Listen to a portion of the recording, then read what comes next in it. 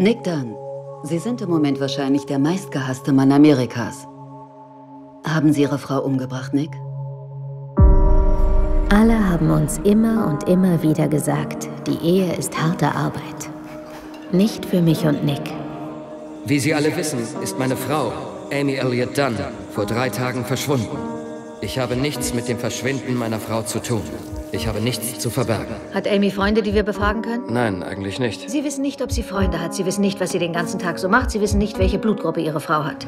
Er ist ein netter Kerl. Alle können sich hier selbst davon überzeugen. Mann, du kannst ihn wirklich nicht leiden, oder? Ich bemühe mich doch nur, freundlich zu sein zu den Leuten, die freiwillig mithelfen, Amy zu suchen. Ich werde üben, so zu tun, als würde mein Mann mich lieben. Aber vielleicht irre ich mich. Haben Sie den mit der Brille schon mal gesehen? Amy ist der Typ Frau, die Bewunderer anzieht. Wer immer sie hat, wird sie wieder loswerden wollen. Ich hoffe, Sie können mir sagen, was das ist. Wollen Sie mit Amy auf Schatzsuche? Haben Sie diese Frau schon mal gesehen? Ja, an die erinnere ich mich. Ich kenne sie. Sie waren Freiwilliger bei der Suchaktion. Ich wollte nur helfen. Was wollte sie? Sie wollte eine Waffe.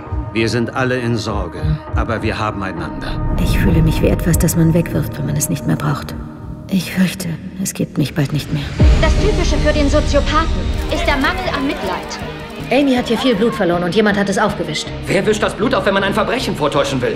Was immer Sie gefunden haben, es ist offenbar extrem belastend. Mir ist jetzt endlich klar geworden, ich habe Angst vor meinem eigenen Mann. Ich couche Sie, wie für eine eidesstattliche Aussage, was Sie sagen dürfen und was nicht. Ein dressierter Affe also. Ein dressierter Affe, der der Hinrichtung entgeht. Die wird dich auseinandernehmen. Sie haben sie geschlagen? Ist es nicht gut genug für Geschlagen? Es ist die Hölle. Definitiv nicht. Nein, ich habe sie nicht angerührt.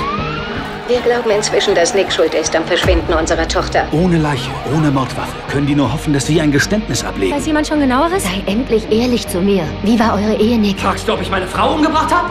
Mein Traummann. Dieser Mann könnte mich umbringen. Und was ist mit meiner Sicht? Dieser Mann könnte mich umbringen. Ihre eigenen Worte. Dieser Mann könnte mich tatsächlich Umbringen.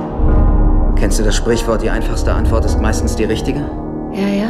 Aber ich glaube eigentlich nicht, dass es stimmt.